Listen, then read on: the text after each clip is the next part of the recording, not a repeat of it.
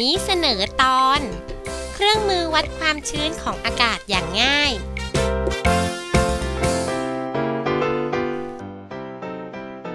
สวัสดีค่ะพี่จันน้องโอ สวัสดีจ้ะพี่กระต่าย สวัสดีค่ะพี่กระต่าย และสวัสดีเด็กๆที่ชมรายการอยู่ทางบ้านด้วยนะคะ วันนี้พี่กระต่ายนัดว่าจะพาน้องโอกับพี่จันไปทำเครื่องวัดความชื้นในอากาศกัน จะทำได้ยังไงนะนั่นสิจ๊ะ จันก็อยากทราบเหมือนกัน อ๋อ นึกออกแล้ว พี่กระต่ายมีวิดีทัศน์ มาให้เด็กๆได้ดูกัน เราไปดูพร้อมๆกันเลยดีกว่าค่ะ แต่ก่อนอื่น เด็กๆและน้องโอ จะต้องสัญญากับพี่กระต่ายก่อนนะคะ ว่าจะตั้งใจดู ได้เลยค่ะ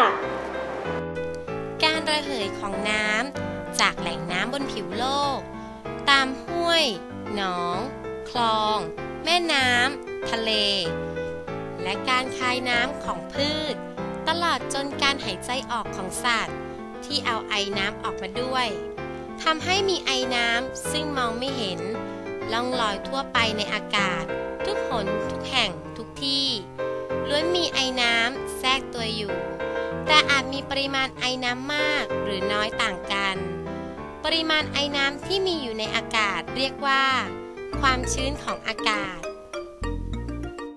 ดูวิดีทัศน์กันจบแล้วเป็นอย่างไรกันบ้างคะ เด็กๆและน้องโอ ทราบกันหรือเปล่าคะว่า ไอน้ำมีส่วนเกี่ยวข้องกับพวกเราในชีวิตประจำวันด้วยนะคะ พี่กระต่ายช่วยบอกน้องโอหน่อยได้ไหมคะว่าเกี่ยวข้องกับชีวิตของเรายังไง ได้สิจ๊ะไอน้ำในอากาศ ที่บอกว่าเกี่ยวข้องกับพวกเราในชีวิตประจำวัน สังเกตได้ง่ายมากค่ะ เช่น ถ้าเราตากผ้า ในบริเวณที่มีปริมาณไอน้ำในอากาศมาก ผ้าก็จะแห้งช้า แต่ในบริเวณที่มีปริมาณไอน้ำในอากาศน้อย ผ้าก็จะแห้งเร็ว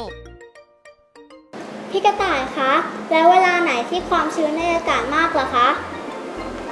นั่นสิจ๊ะ จันก็อยากทราบเหมือนกันว่าเวลาไหนที่ตากผ้าแล้วแห้งเร็ว เด็กๆที่ดูอยู่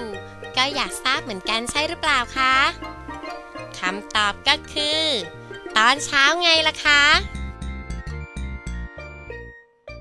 พี่มีเครื่องวัดง่าย ๆค่ะ แต่ก่อนอื่น เราไปดูสิ่งต่อไปนี้ก่อนนะคะ พี่กระต่ายมีวิธีทดลองง่าย ๆ มาฝากเด็กๆค่ะ ให้เด็กๆเอาผู้กันจุ่มน้ำแล้ววาดรูปบนโต๊ะไม้ แล้วลองสังเกตดูนะคะ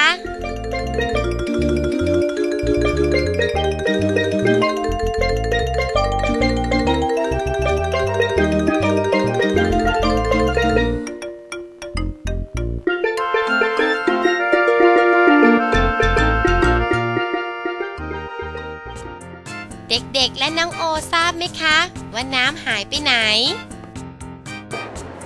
น้ำระเหยกลายเป็นไอน้ำในอากาศใช่ไหมคะพี่กระต่าย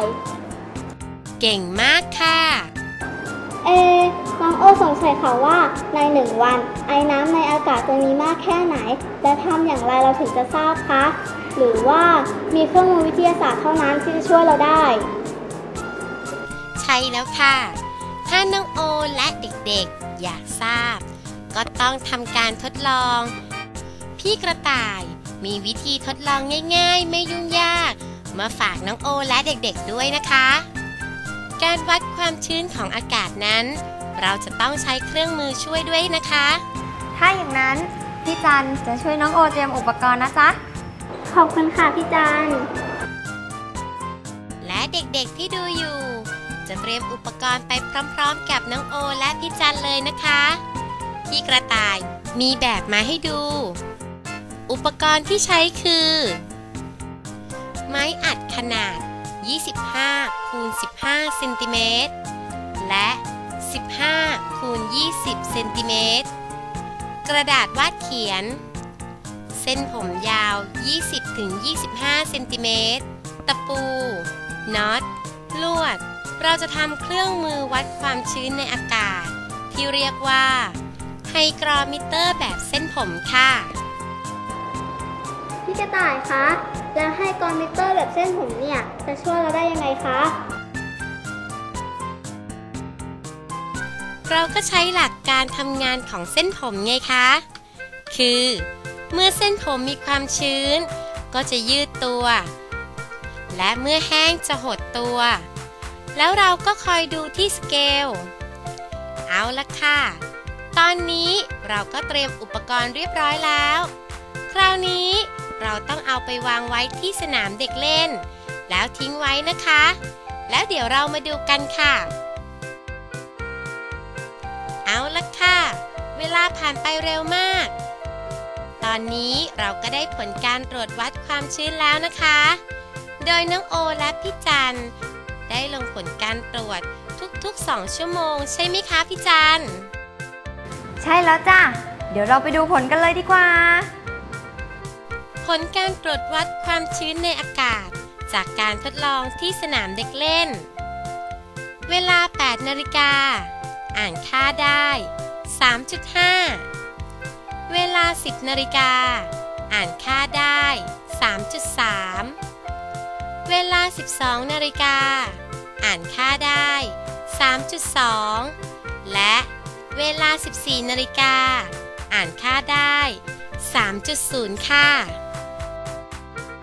น้องโอและเด็กๆ สังเกตเห็นหรือเปล่าคะว่า ค่าที่อ่านได้ ต่ำลงเรื่อยๆ เห็นค่ะ พี่กระต่ายหมายความว่ายังไงคะ หมายความว่า ในวันหนึ่งหนึ่งความชื้นของอากาศ จะมีการเปลี่ยนแปลงอยู่ตลอดเวลาไงคะ เวลาเช้า อุณหภูมิของอากาศต่ำ อากาศใกล้จะถึงจุดอิ่มตัวด้วย อากาศจึงรับไอน้ำได้อีกเล็กน้อย ความชื้นของอากาศจึงมีค่ามากกว่าตอนกลางวัน และตอนบ่ายซึ่งอุณหภูมิของอากาศสูงกว่า จึงรับไอน้ำได้อีกมาก เด็กๆทราบกันหรือเปล่าคะว่า เจ้าไฮกรอมิเตอร์แบบเส้นผมเนี่ย จะทำงานในวันที่มีไอน้ำในอากาศมาก หรืออากาศมีความชื้นมาก เส้นผมจะยืดออก น้ำหนักของน็อตดึงลงทำให้เข็มเคลื่อนที่ขึ้น เพราะความชื้นของอากาศลดลง เส้นผมจะหดตัว จะดึงน็อตขึ้นทำให้เข็มเคลื่อนที่ลง คราวนี้น้องโอ และเด็กๆก็ทราบกันแล้วนะคะว่า ในหนึ่งวันและแต่ละเวลา ในอากาศมีไอน้ำมากน้อยอย่างไร ค่ะพี่จันค่าจากไฮกรอมิเตอร์แบบเส้นผม ไม่ใช่ค่าความชื้นจริงนะคะ แต่เปรียบเทียบให้เราดูได้ ว่าความชื้นของอากาศในช่วงเวลาต่างๆ แตกต่างกันอย่างไรเท่านั้นเอง พี่กระต่ายมีเรื่องจะบอกน้องโอและเด็กๆทางบ้านอีกนะคะ ว่าการวัดความชื้นของอากาศจริง ๆ นั้น จะบอกเป็นค่าความชื้นสัมพัทธ์ ซึ่งเป็นอัตราส่วน ระหว่างมวลของไอน้ำที่มีอยู่จริงในอากาศ กับมวลของไอน้ำสูงสุด ที่อากาศสามารถรับไว้ได้ณอุณหภูมิและปริมาตรเดียวกัน คิดเป็นร้อยละ ดังนั้นจึงสามารถหาความชื้นสัมพัทธ์ได้ ด้วยวิธีการคำนวณนี้ค่ะ